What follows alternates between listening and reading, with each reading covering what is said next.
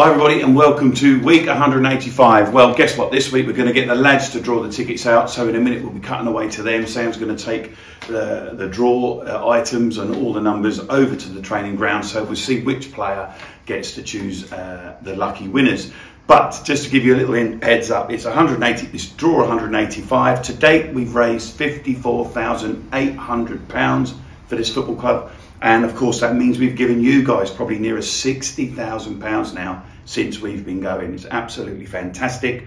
Uh, and the pot's gone up. It was only 284 and we're up to 290 this week. So let's hope that is another boost on the back of the 5-2 result.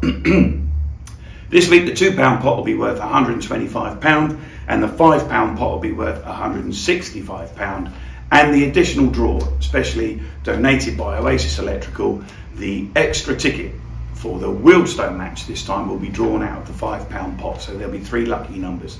Uh, I wish you well and uh, don't forget it's less than the price of a cup of coffee. Let's get this back up to over £300 a week. I know we can do it. It's a small order. Let's get the feel good factor going and who knows we may even be able to get another player on board.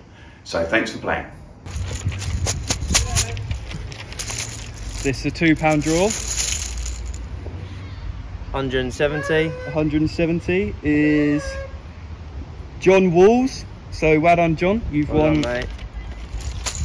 Blue one again. And a five pound draw.